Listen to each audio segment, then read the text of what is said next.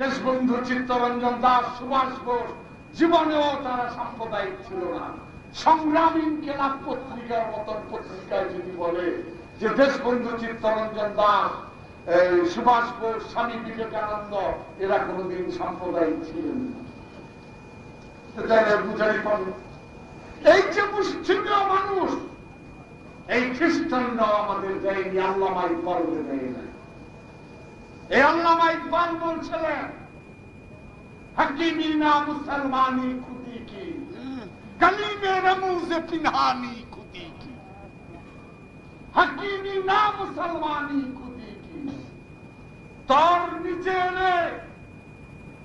তুই বিচারক কইবার চাইস না মানুষের দোষ তোর মার চাইস না কে মুসলমান দাঁড়িয়ে রাখল না? কার চুপা নাই কার চুপি ঠিক নাই? এই হাকিমিগিরি করবার যাইস না হাকিমি না মুসলমানি এটা মুসলমানের লক্ষণ না। কেন? পিনহানি কি কালিম মানে আল্লাহ কালাম। রবুজ রহস্য। পিনহানি পর্দা খুদি কি তোর আমির ভিতরে আল্লাহ রহস্য রূপে, পর্দা রূপে তোর মধ্যেই আছে। দলিল? নাহানু আকরাবু ইলাইহি মিন হাবলিল ওয়ারিদ লাইসা ফি যুব্বাতি সিওয়া আল্লাহ তাআলা মান রানি ফাকাদ রাআল হাক্কা তোমার মধ্যে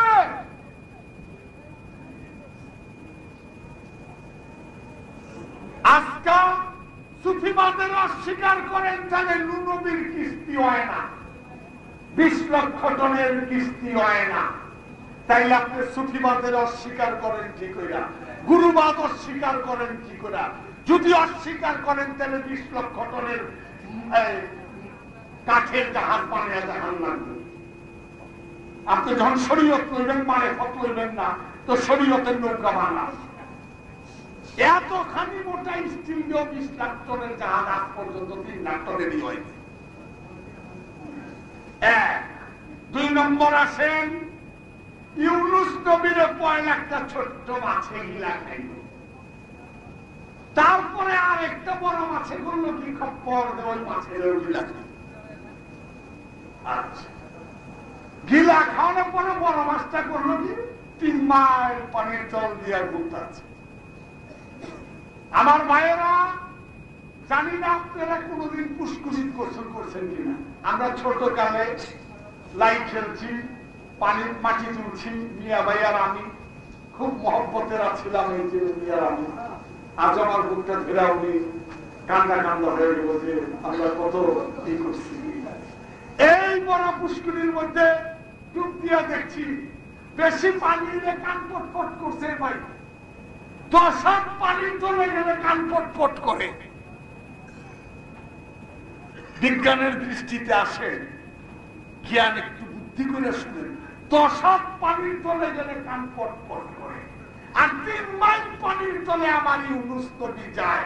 তুই ইউনুস নবীকে মিশতে আমার রসুল্লাহ বাদ দিলাম তো আমার মতো মানুষ না। বাচ্চা তুই হেদায়ত তাইলে কি হয়েছে রসুল্লাহ আয়, আমি রামপালের মধ্যে বলছিলাম করলাম যে আমার পরে কারি কারি এবার আমার বন্ধু। আমি বললাম, বলো তো আমার জীবনে একজনের প্রশ্নের উত্তর দিতে না পেরা মাথা নিচা করে গেছে সে কে প্রশ্ন করছিল এবং সেই প্রশ্নের উত্তর না দিয়ে মাথা নিচা করে গেছিল এটা কি? লোক, অ্যাম্বাসেডারটা অনেকেই কি করল ডাক্তার সাহেব। প্রশ্নের উত্তর না দিয়ে মাথা নিচা করে গেছে না আর এত মিছা ওনার নামে তো গেল। সারা সার আচ্ছা চিন্তা। আমি কই আমি কই এই প্রশ্নের উত্তর আমার ভাই কারি বেলালি দিয়া দিবনে সামনে বসা। আমার কাছে ঠিক করে দে আমি জানি না এটা। আমার ইজ্জত পারিস না তুই আমার আসতে গেলে দেখ, আমার ইজ্জত পারিস না তুই করে দে তরবার হিন্দা দেখ, সব বইয়া রয়েছে আমি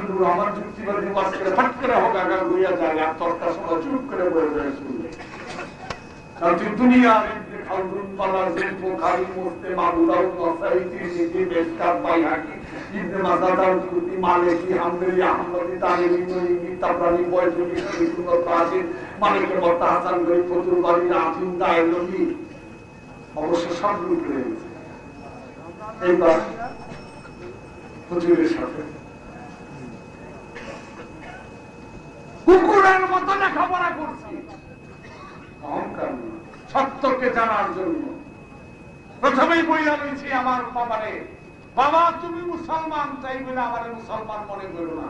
আমার বাবাই ছিল ফুরফুরার পীরের মুড়ি, দাবু বাবা তো শরীরে, বাবা এই কস কি তুই আমার এক করো না আমি তো বাবা এইটা করি না।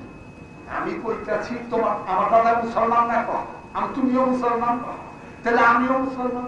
তাহলে তো আমি উত্তরাধিকারী সূত্রে মুসলমান। আচ্ছা দাদাই যদি আজকে হরিমোহন হতো তাহলে তোমার নাম জগামোহন। আমার নাম হরমোহন, ঠিক কিনা কহ? আমি তোমার নাম ছাটুয়া নাম হইলে আমার নাম নাটুয়া নাম হয়ে যেতাম গা। তুমি টম হইলে আমি হেরি খ্রিস্টান হইতাম। তুমি সাইমন পেরিস হইলে আমি সিমন পেরিজি হুজি হয়ে যেতাম। ঠিক কিনা কহ? আমি তো তোমার সাইনবোর্ড তো কান্দে রয়েছি। সত্য তো খুঁজলাম না। আমি সব ধর্ম একটা একটা করে পড়ে দেব। যেটা সত্য সেটা গ্রহণ করব। আফসোস। বাবা যখন মারা গেছে। বাবা ইসলাম সব দেখা আর তোমারে জীবিত বলতে পারলাম না, তোমার সামনে দাঁড়িয়ে আমি এত নিউট্রাল এত নিরপেক্ষ আমার সাইনবোর্ড নাই। ইসলামের এত উঁচায় উঠে খ্রিস্টানরা পারে না, হিন্দুরা পারে না। জয়পাল সাধু পারছেন না?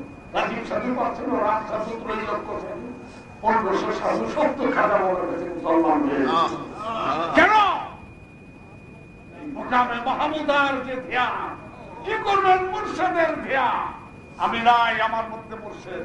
এই হাত আমার নাম মুর্শেদের এই পা আমার নাম মুর্শেদের পা, এই শরীর আমার নাম মুর্শেদের আমি দেখি আমার মুর্শেদে দেখে, আমি শুনি আমার মুর্শেদে শুনে। আমি হাঁটি না আমার মুর্শেদে হাঁটে, আমি শুনি না আমার মুর্শেদে শোয়ে।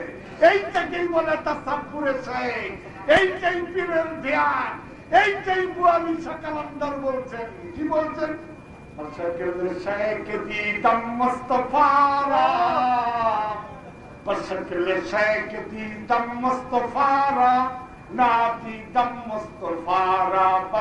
খুদারা বশকলে বাকিয়া সকল চেহারা শেখ পীর পীরের সুরতে দিলাম দেখিলাম মুস্তফা নবী রাকে পীরের সুরাতে নবীকে দেখলাম না দিতাম মুস্তফারা পালকে খোদারা। যে যাকে দেখছি উনি মুস্তফা নন উনি স্বয়ং আল্লাহকে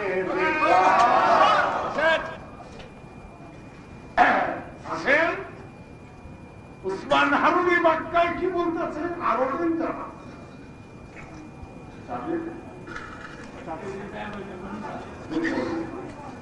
আপনার কষ্ট নাম ছেড়ে মানে আমার কষ্ট। আমার কষ্ট।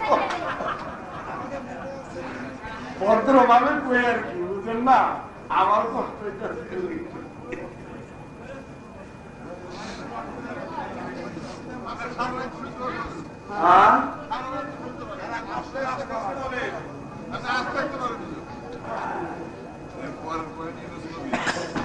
আর মনে করেন দিয়ে আর ওটাও একটা তার তো। না কত বড় চুল। কালকা মগরিবের নামাজ পড়তাছি গানে নিজের সব ছায়া রয়েছে গানে ডাকার তো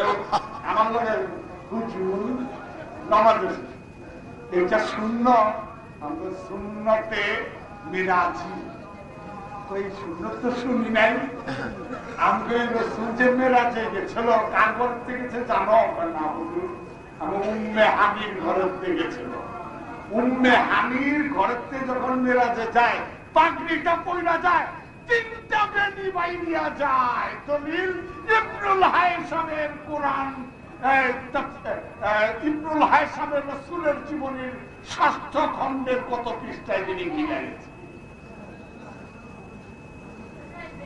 ওইটা ছাপায় না ছাপাইলে ধরা পড়ে অনেক বই ছাপাই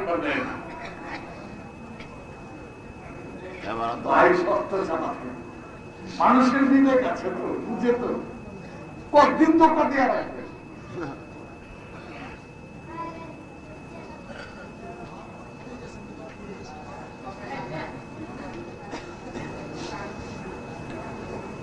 এরপর বলব, এগুলো কেন? আচ্ছা, ঠিক আছে। আচ্ছা একটু বুঝতে দিল তাহলে আমি কি বললাম তাসাব্বুরের সাহেব? পীরের এই একমাত্র। আপনি যদি কোন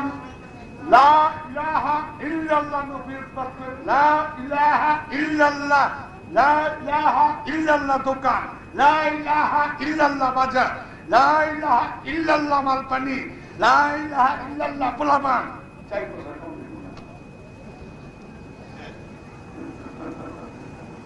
বছর কম দিন না। খালি ইল্লাল্লাহ কই এড়িয়ে গেল।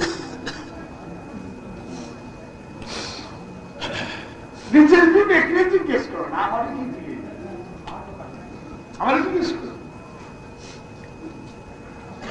আল্লাহ তাই বলতেছে কি মুর্শিদের বড়